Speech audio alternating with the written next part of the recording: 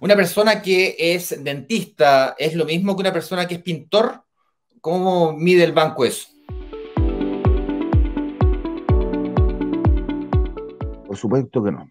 Eh, a ver, si bien como personas son iguales, pero se entiende que en este caso un dentista va a tener eh, un trabajo más constante o una generación de ingresos mayor y más constante en el tiempo que un pintor.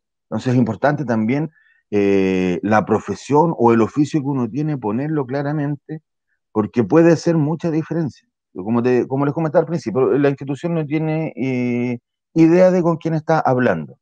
Y hay políticas dentro de las instituciones donde eh, se hace más fácil la evaluación. Me pasaba a mí en la institución donde trabajaba anteriormente, que había política de médicos, política de dentistas, de ingenieros civiles comerciales, abogados, eh, de las Fuerzas Armadas, de minería. Hay políticas especiales eh, dentro de los manuales de, riesgo del banco donde eh, se facilita la evaluación y a veces los parámetros del banco se tuercen un poco ante estas profesiones, digamos, que son un, poquito más rentables.